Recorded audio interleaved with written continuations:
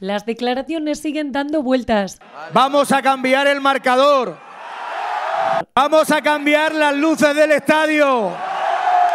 El Albacete Balompié habla abiertamente. Por una cuestión concreta, ¿no? Porque hay una serie de promesas eh, incumplidas del, del, ayuntamiento, sin dar el color del ayuntamiento que lo ha hecho con el Albacete Balompié. Y ahora hay una amenaza real de la liga que podría obligar al Albacete Balompié a jugar fuera del Carlos Belmonte. Yo creo que no habría nada más triste que ver al Albacete Balompié fuera de Albacete disputar un partido oficial. ¿no? Yo creo que sería algo totalmente avergonzante para todos. Hasta 350.000 euros ha tenido que pagar el Albacete Balompié en sanciones por no cambiar la iluminación y el marcador que exige la liga para competiciones de este nivel. Incumplimientos que sí tienen color, el de un gobierno socialista con un alcalde acostumbrado a la mentira. Emilio Saez salía al balcón, prometía y se comprometía, pero abandona la alcaldía con una herencia envenenada para el Partido Popular. El futuro ahora mismo es absolutamente incierto. Me consta que la nueva corporación municipal ha tomado el pulso del asunto, que quiere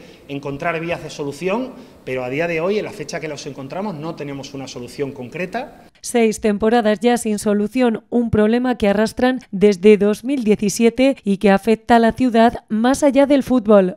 Yo creo que no es el mensaje que debe recibir alguien para invertir, ni es el, mensaje, que tengamos que lanzar a otros inversores para que vengan al Albacete a invertir. Yo creo que el mensaje tiene que ser que somos una, una ciudad emprendedora, innovadora, que quiere crecer, que quiere desarrollar proyectos y que, y que esas personas tienen que recibir el apoyo que se merecen la gestión de Emilio Saez pasa factura a la ciudad y se suma a las que deja sin pagar.